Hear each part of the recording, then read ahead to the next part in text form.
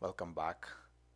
In this session I'm gonna show how to implement bubble sort in uh, RISC-V assembly.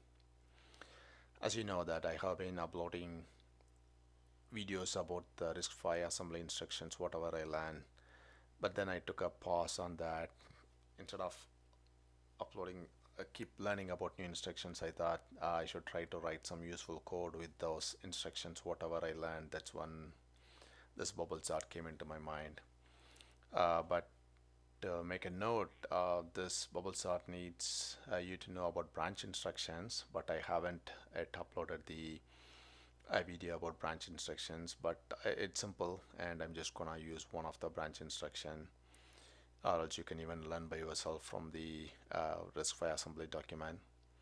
Other than this branch instruction I highly recommend you to watch this two minutes uh, YouTube video about uh, bubble sort this is by a gentleman who has done it very well. The uh, important thing about this video or the one which I like about this video is that it does not talk about any mathematics or it does not give you any pseudocode. All it asks you is to watch how bubble sort works uh, in two minutes. That's it. So the reason why I recommend this is whenever you write a code in assembly uh, instead of looking at a pseudocode or a code which is in a higher language instead of transferring converting that exactly into assembly if you just know how it works uh, it would be better you you write a algorithm which is appropriate to be written in the assembly and if you start implementing it would be easier and the code will be clean. So that's why I recommend this video. And the third one uh, this bubble sort code would need you to know some assembly directives. Uh, but you know we already saw a couple of uh, GNU assembly directives like uh, dot global and dot extern other than that uh, this would also need you to know some RISC-V specific uh, pseudo instructions directives and relocation okay? So I have given these links in the comment section. Uh, you can always access it. So let's see first let's see what is this uh, assembly directives.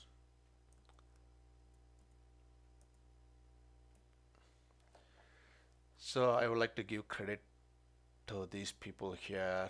I think they are really working hard to support this open source uh, development on RISC-V so please give credit to these guys. So but what I want to point in this uh, document is these are. So these are the common GNU directives. So maybe this is common across any GNU assembler.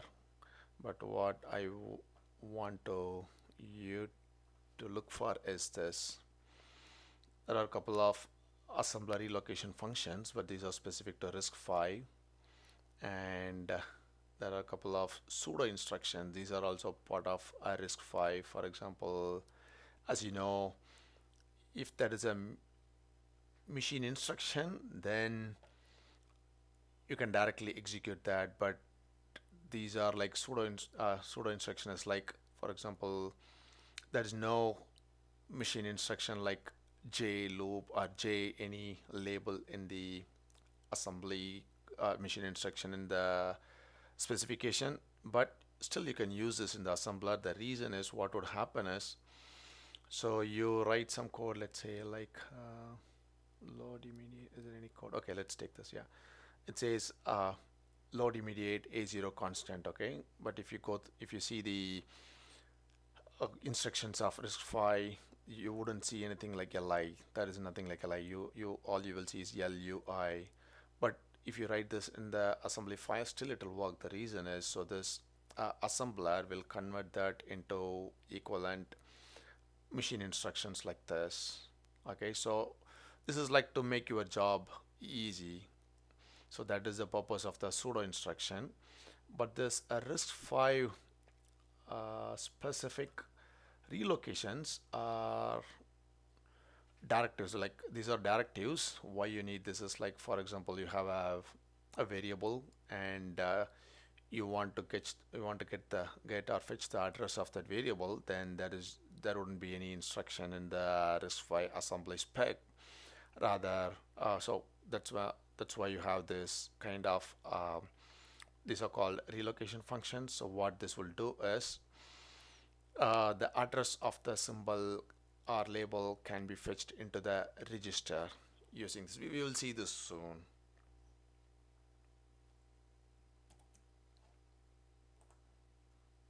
Okay before we get into the assembly code I would like to run through the assumptions I have made and the algorithmic steps I have written in the text here. So I have assumed that the inputs are all of uh, word size which is 32 bits and input data are all of uh, fixed length I think I have assumed yeah assumed that there are five elements. And the input is expected to be sorted in the ascending order. Okay, these are all the assumptions. And I'm using uh, specific registers for for a specific function. Like for example I'm using a0 register to store the base address and uh, T1 three temporary registers T0 T1 T2 to store temporary values and I'm using S1 S2 to store the loop counters S1 is for the outer loop and S2 is for the inner loop. Now regarding the algorithm it's a straightforward algorithm. The I haven't done any special optimization or anything here. So basically the outer loop runs from okay so initially the number of sorted elements is set to zero. Uh, so basically there is no element in the array is sorted. So it runs for n minus 1 times. And uh, for each iteration of the outer loop one element will be sorted. And since this is in the ascending order that element will be pushed to the end of the array. Okay? And uh, so then the base address is uh, read into the or stored into the A0 register. And then the next consecutive value is read and the based on whichever is uh, bigger or smaller uh, yeah swap maybe may or may not be performed. And the inner loop basically runs from uh, n minus 1 minus number of sorted uh, elements until 0 okay?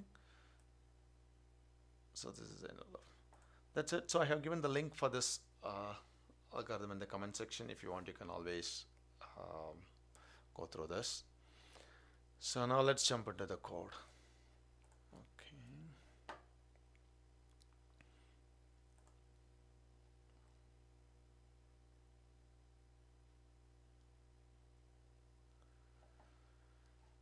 So I have separated the memory view here. Actually you can so there's option for you to detach a view and you can move wherever you want. I have moved the memory view. I have detached the memory view from here and moved it here for a reason.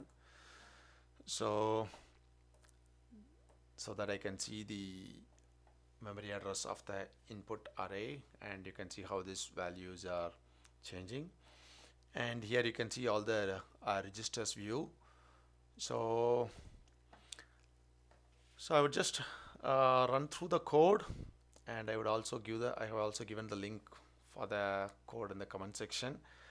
But before we get into the code so few uh, what is this?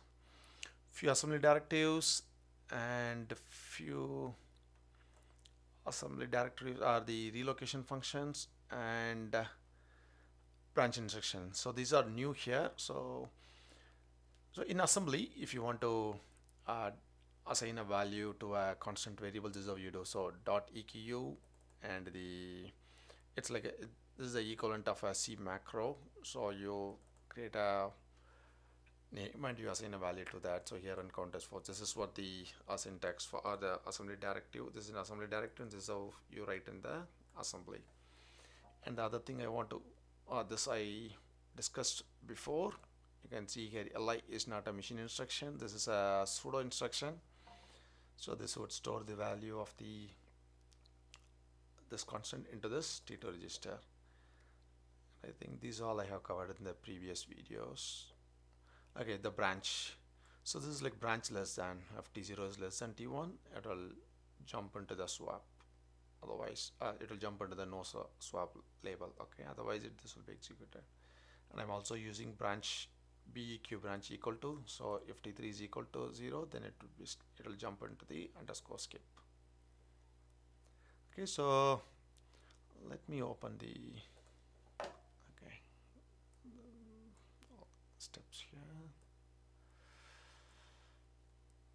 So, so s1 is outer loop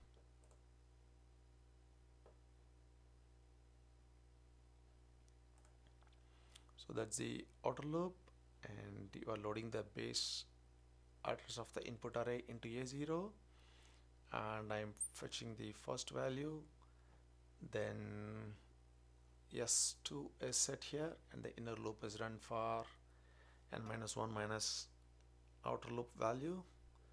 And at the end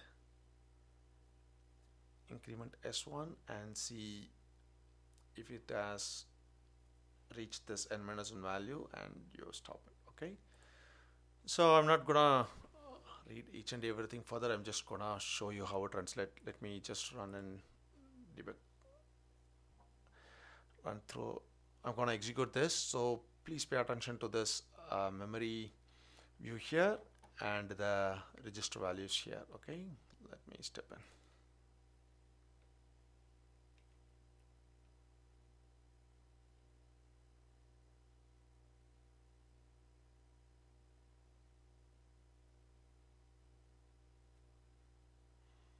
so you can see that 8 and 8 are swapped.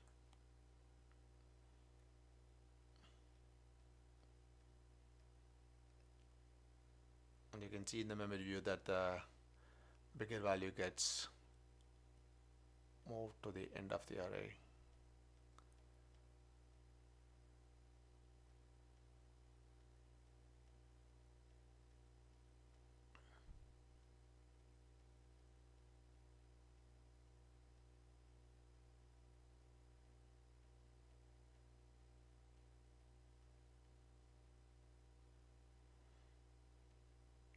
I'm just running it on a real hardware HiFive board.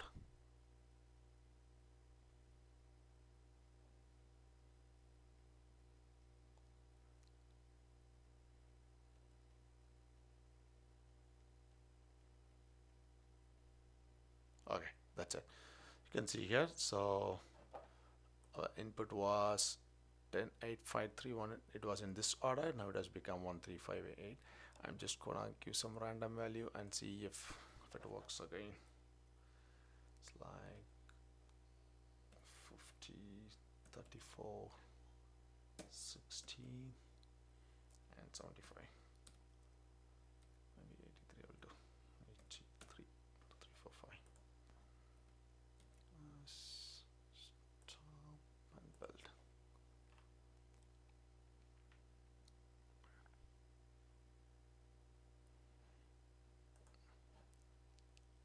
so I'll just run up to this. I'm not gonna step in into this. So 10 22 32 4b 5 okay. Okay. Let me view this in decimal how do I okay X, decimal sign so it's like okay 16 34 50 75 83 okay so that's it. I hope that is helpful. Thank you